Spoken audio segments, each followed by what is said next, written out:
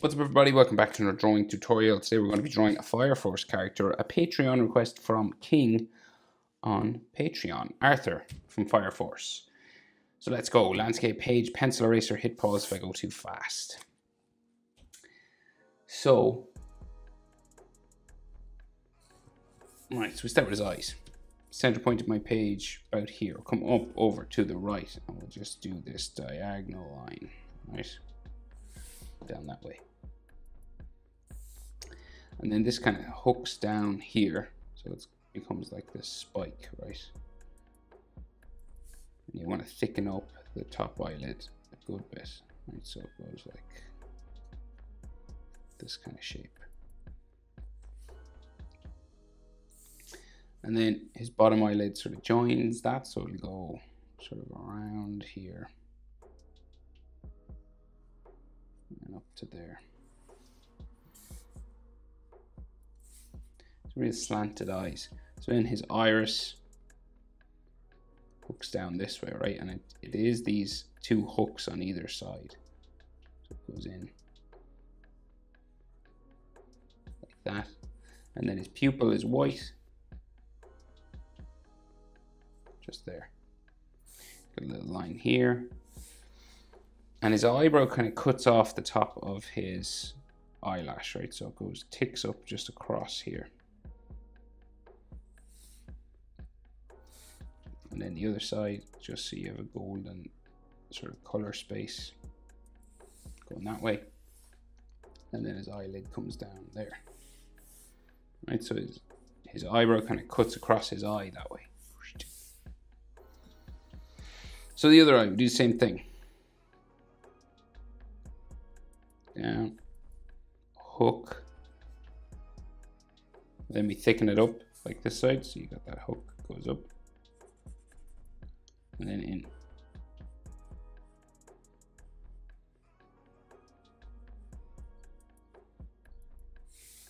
Bottom eyelid, thinner line just comes across. And then his pupil and iris. So we just do these two hook lines. There's a gap between them. You can join them if you want, but just the style of Fire Force, they don't. They just leave it like that and then color blue inside. So it's kind of up to you what way you want to do it, but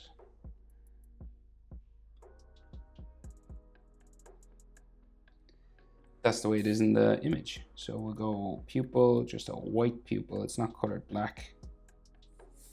It's just white.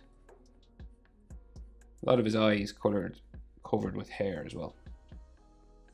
Another sort of eye line there. And then the eyebrow again. So just here, cuts across like so. Then the other side up to there. So for his nose, so we've got like some hatching just coming across the top of his nose, the bridge of his nose just there. And he's got a little curved line just here. And then two real small nostrils. So unusual style nose. His mouth then downturned, sort of serious. Like that. You can leave it like that if you want, but in the picture his mouth is open a little bit. So we just do the gap just here. And then his bottom lip, just there. Chin then down from there, curved line, like so. And if you're wondering about proportions, eyebrow to the nostril, see this space, is about the same as nostril to the chin. So here to here is about the same as here to here, top of his eye there, where the eye sort of meets the eyebrow. That is the same as that. And then nostril to the bottom lip, sort of area here to here is about the same as here to here. Say like top of his bottom lip, or the teeth maybe here and here are about the same, just this area. Okay. Then we do his jaw. So we'll go.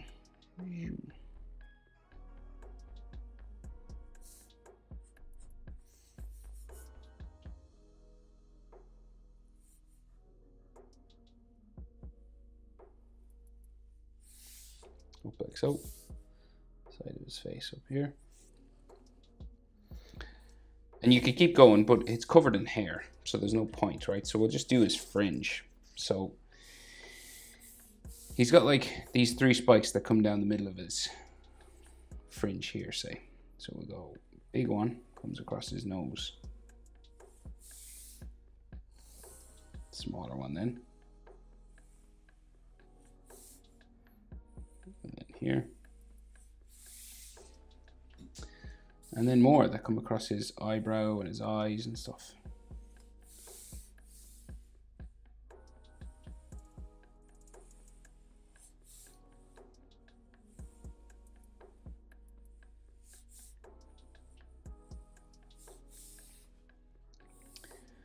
The one just here.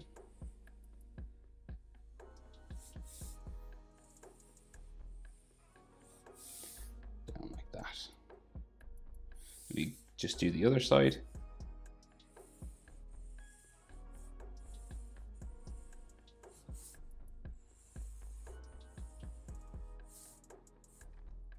Long one here.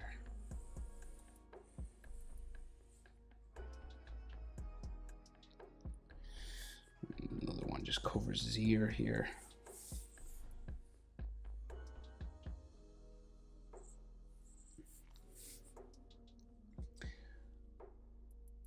Okay, so we can see some of his ear on this side. So it like comes out around to there and a little bit inside underneath here.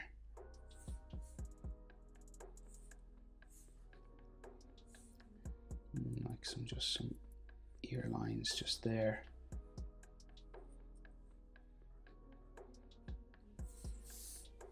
And then some ear lines inside here.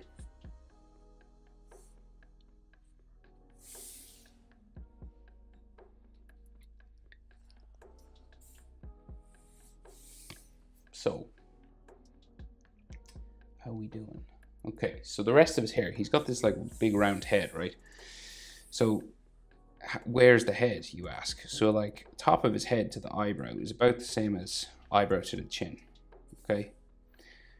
So, in human proportion, the eyes are about halfway down the head, like to the skull, you know? So, like, if his skull was here, eyes to the eyes would be halfway between the chin and the top of the skull. So that's about the same. But because he has hair, you have to go up a little bit higher. So I like to say eyebrow. So eyebrow top of the head, about the same as eyebrow to chin. This space, whatever this is, bring it up that much again, and then you'll add, you'll know kind of where the top of his head is then.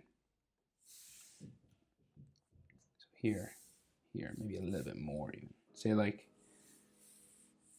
top of his eyebrows. So there and there. Right, so roughly this you want this to be kind of your halfway between here and here. So just here. Okay, and then the rest of his hair will come down from that. So like a big curved line.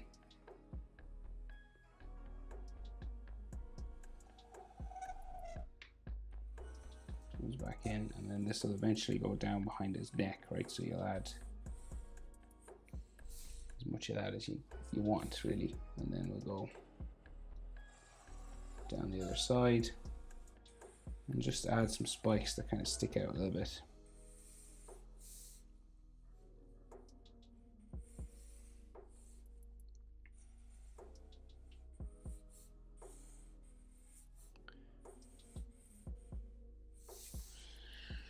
And the hair goes behind his neck, which is just here.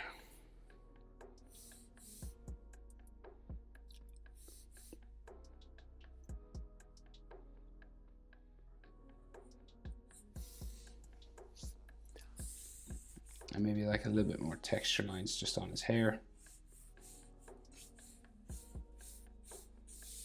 Like so.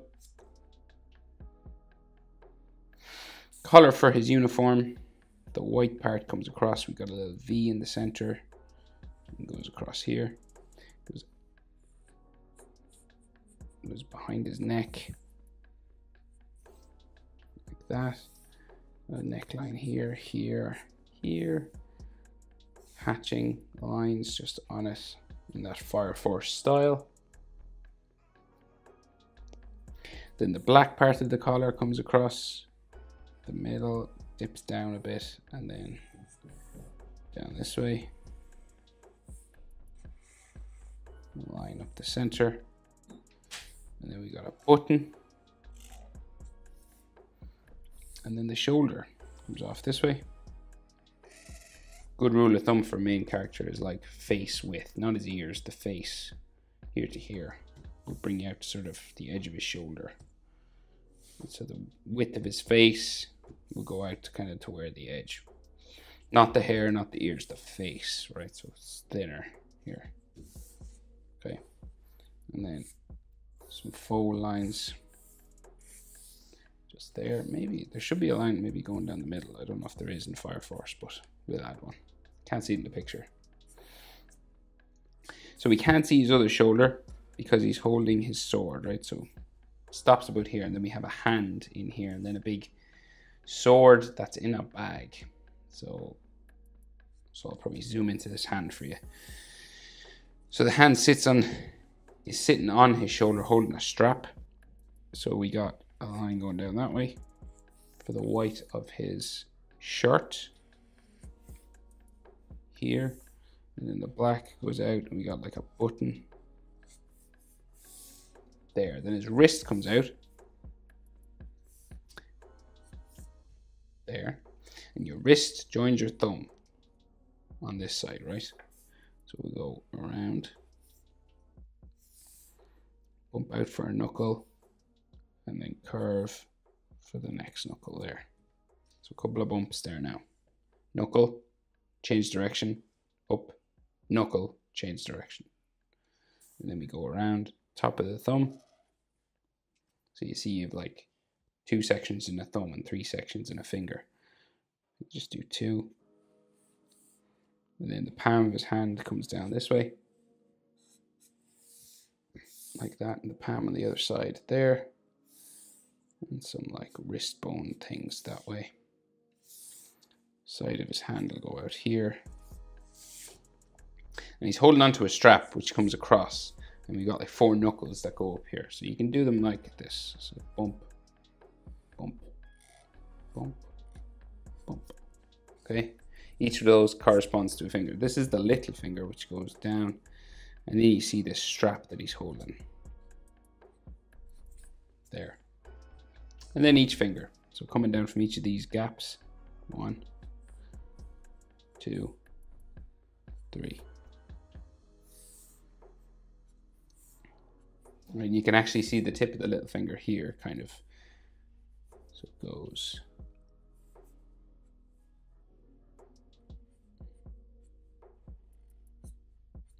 Around like this. And Then the ring finger. Then we have some knuckle lines and some fingernails.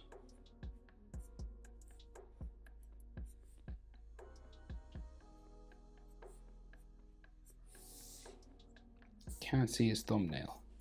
Right, so in the bag that the sword is hanging out of, so well actually, so the strap comes out here first again. This is like a little white strap that goes out this way. And then the bag. So we go up, around,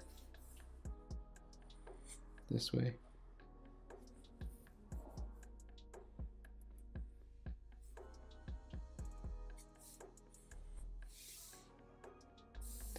And then that big sword handle that comes out. So you could maybe use a ruler for some of this if you wanted. So, because this is quite difficult and it's like double lines. I'll do it with a single line because my, my marker won't do the double lines. They'll just all bleed together. So we have this cross. This is tricky.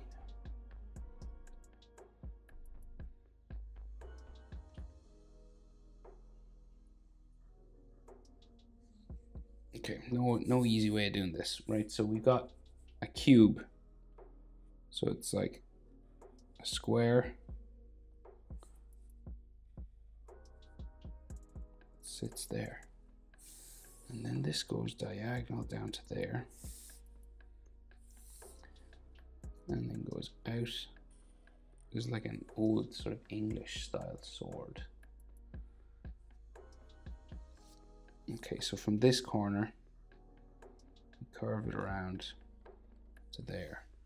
That meets the other corner of this one. So it goes up, across, and then you've got the square or rectangle side of that one there, and the bottom of it. So it's kind of 3D. And then the inside of this one goes up to there.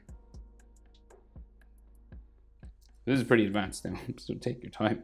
It's not easy getting this three-dimensional sh shape, you know, twisted. So this goes down that way, curves around again, and then you meet the square edge of the top part of the sword, which goes into there.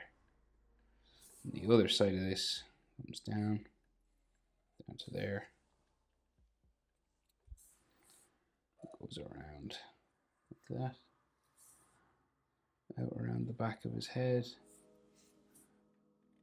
This meets the other side into there.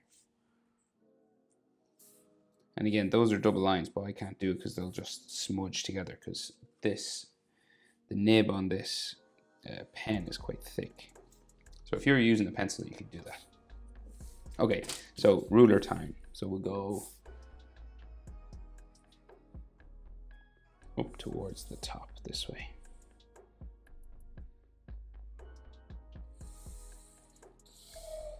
There, and then this side.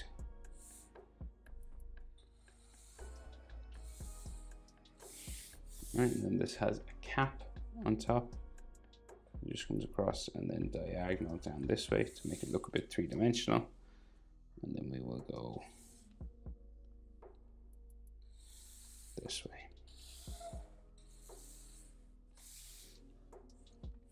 And then these have like lines going this way.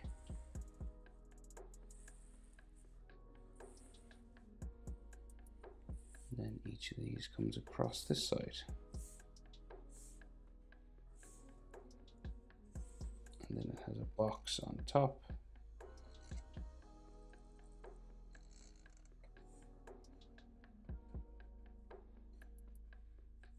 Like that.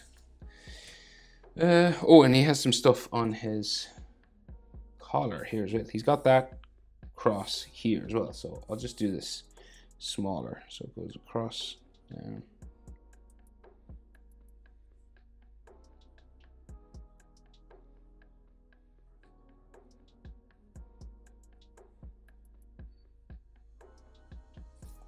Like that. And then a rectangle shape here with another rectangle shape inside and lines towards the corners like that. Right, but I think that's everything. That is how to draw Arthur from Fire Force. Another sort of shoulder line or something there. Hope it's helpful, King. Thanks for watching. See you in the next one. Bye.